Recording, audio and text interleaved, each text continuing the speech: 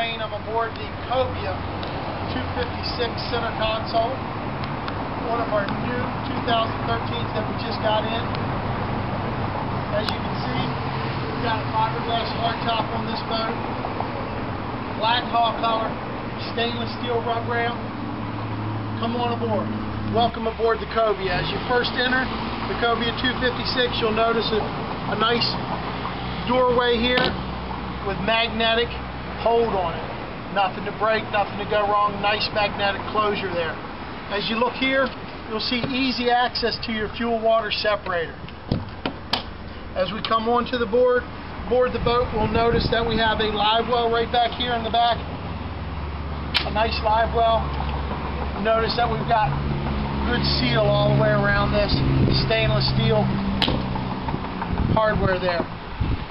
You come onto the boat in the stern, we've got a seat that folds away, or you can have your seat come on up and you've got a nice rear bench seat. Notice the width of this seat. A lot of the other rear bench seats are small. This gives you the ability to sit all the way across it. Nice place for your legs. It's not like you feel like you're falling off of something when you're sitting in this seat. Very secure. Seat easily folds out of the way, right out of the way. And then if you need access to the bilge area, which is always, always hard on most all boats is getting in the bilge area, you've got big access to get down in there, change any of your pumps, do any kind of maintenance work that you need to, but a very nice access to the bilge area. When we come all the way over to this side, you'll notice that you've got your battery switch.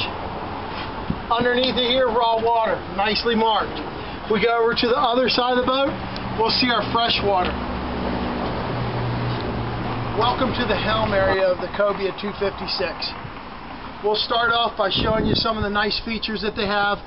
Heavy duty, big helm, leaning post here. They call it a tackle center, I believe, in the brochure.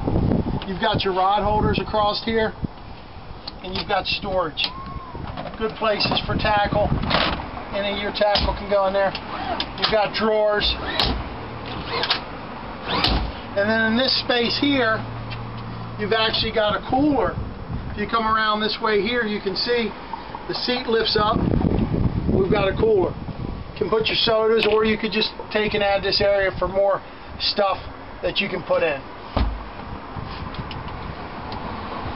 We come here, we've got a footrest You can get up on here very easily to sit here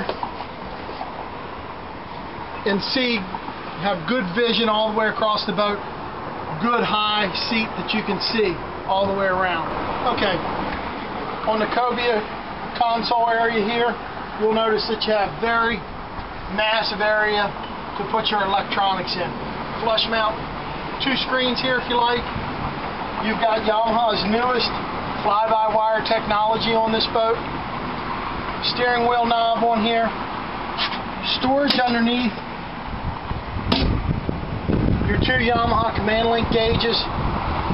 LED lights on the ends of these switches so you can see if power's on. Then you've also got a 12 volt receptacle here. Yamaha key switch, trim tabs, and then you've got a remote for your Sony stereo two cup holders here to hold your favorite beverage. What I like most about this boat is when you've got stuff and you throw it up here. Maps, sunglasses. Throw your glasses and stuff up here want to go for a swim. Won't come sliding off if you take off. On the 256 Cobia, you'll notice a fiberglass top. We call this a fiberglass hardtop.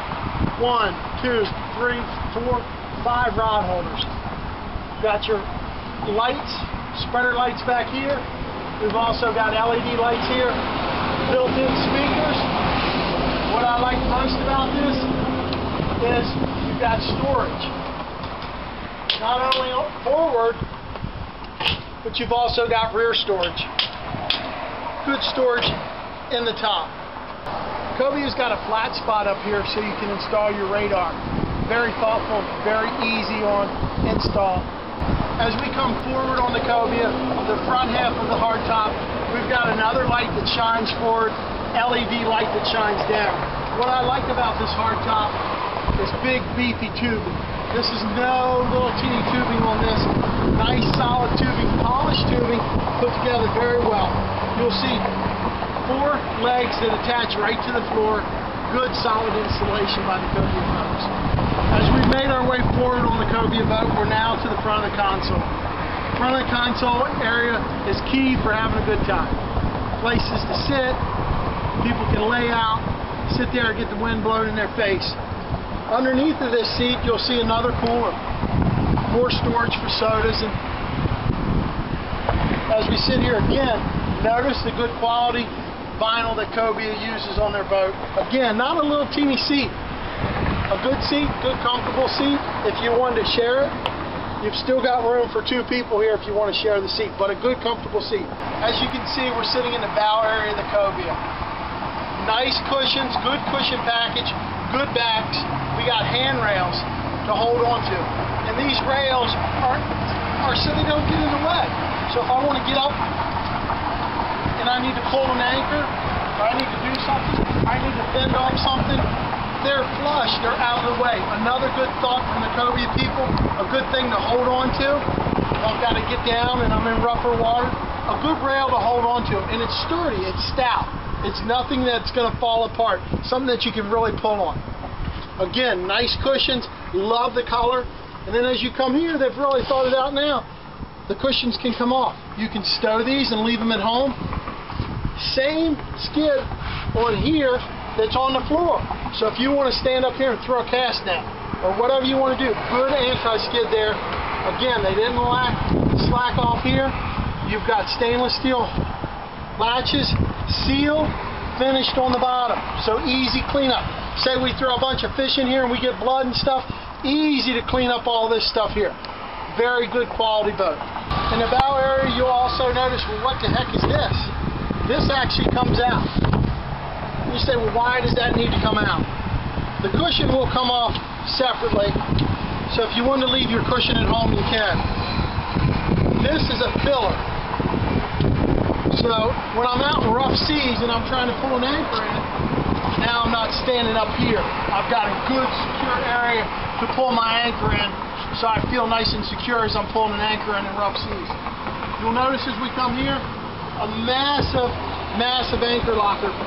600 foot of rode, no problem. Pop up cleat to tie off, and a, a hose pipe there. Not really a hose pipe, but a cutout to put your anchor rode through. So you can put your door back down. That's your anchor out, doors back down nice and safe. You'll also know, notice a light down below. Uh, gives us a good ability to light up the front of the boat early in the morning or late at night. Here we got a few more features that I want to point out. Cup holders, both sides, stereo speakers as well. So not only do you have a place to set your drink, you've got speakers up here so you can hear the music. Some more storage. The boat is just packed with storage and features. I want to show you this one here. This has got a stainless steel shock to hold it up. Back, you'll see your freshwater tank. Forward would be your gray tank for your macerator for your head. And this area here, nice area to store bumpers, fenders, lines, all that kind of stuff there. Painted, finished off very nicely. As you can see, we're down in the head compartment of the 256 Cobia. We've got a marine head here with a macerator.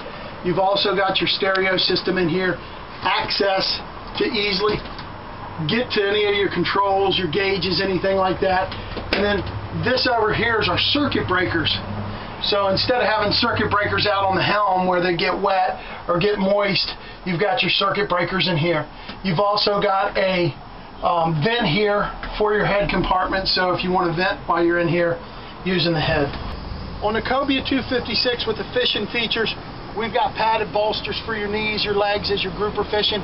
You've also got a tow rail here. We did that as an extra. That's an option. Anything like that, but good rod storage right there. The tips of the rods can actually get up inside and be protected. Room for three on each side. We're on the outside of the Cobia 256. Ours is powered by a single Yamaha 300. What I want you to notice, I thought this was a great feature that Cobia came up with. And you've got a ladder that hides out of the way. in some of the competitors' boats, you'll see a ladder that sits up like this. You trip, you got your feet, you're hitting this ladder because it's sitting right up on the deck. Not with the cobia. They thought about it. Again, another great feature that the cobia people have came up with. Now this makes this nice and flush. If you're on a dock and you just want to walk off and you don't need the ladder. But if you do need the ladder and you put the ladder down and you're climbing up from outside, again, a nice flush area just to get right on the boat. Good thinking by the cobia people. I wanted to point out a few features on the cobia, some things that go unlooked. But if we look down here real close, we come down to our to our drain plug. A drain plug that screws in nice and tight. You don't need a wrench or anything like that to tighten it up. Just your fingers. And then look at this. When it comes out, you don't have to worry about losing it. It's built right into the boat, O-ring to seal it up. Another good feature thought about by the Cobia people. Cobia puts their Lenco trim tabs in a recessed pocket. Nice feature that they have here, flush to the back of the boat. Anybody climbing in and out of the boat, getting up to the boat, these aren't sticking way out here to cut somebody or to get in the way. I'd like to thank you for watching our video here at Central Marine on the Cobia 256.